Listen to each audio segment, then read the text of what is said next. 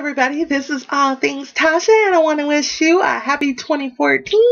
Happy New Year, y'all! Woo!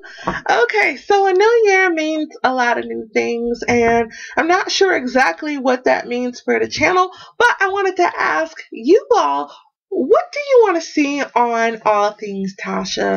Um, I know I want to kind of take the channel in a new direction or develop it a little bit more, but I really want your input. What do you want to see?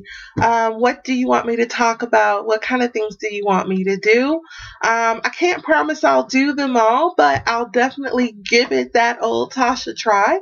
Um, I kind of stink at makeup applications, uh, which is why I haven't done any tutorials because I'm still learning. But I'm open minded. So talk to me about what you want to see on all things Tashia.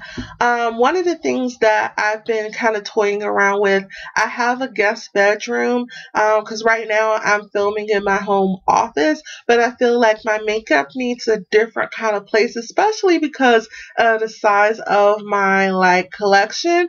Um, I think it would be kind of cool to have a separate uh, video kind of space, but I'm not sure what I want to design or how I wanted to put it together and how do I keep a guest bedroom aspect and still have a really cool filming place?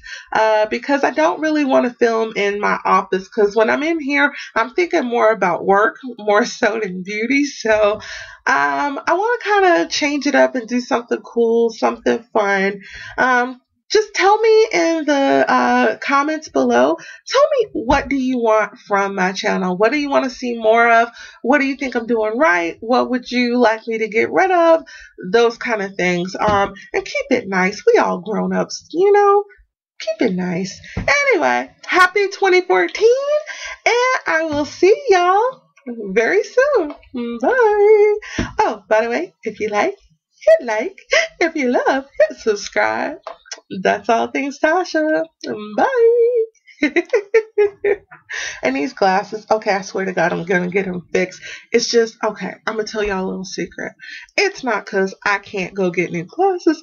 I am afraid of the eye puff test. So if anybody got a trick to make it through that kind of situation, let me know. I hate the eye puff test, which is why these glasses are constantly slipping, and I know I need to get new ones.